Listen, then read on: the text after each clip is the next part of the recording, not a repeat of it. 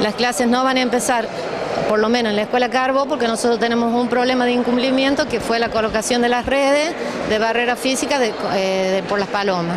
Los docentes del Carbó suspendieron un curso de capacitación y ya anunciaron que no habrá dictado el primer día de actividad, el 5 de marzo.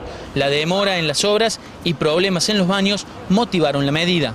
Nos han presentado un nuevo proyecto muy tarde, que debieron presentarlo allá por octubre, lo presentaron ahora y lo tenemos que poner a, consideración de los compañeros, explicar, porque es bien poco claro este nuevo proyecto. Nosotros estamos con un problema desde el regreso de las vacaciones, que son los cinco baños de abajo que pierden agua.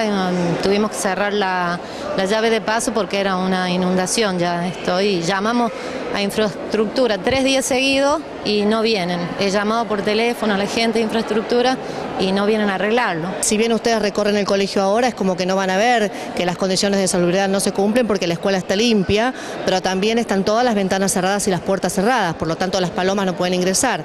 El primer día que haya acá un alumno van a abrir todas las ventanas y todas las puertas y el problema va a empezar. Entonces, como no queremos perjudicar precisamente las clases, estamos tomando todas estas medidas antes. Todo está como para ayer, nada es ahora.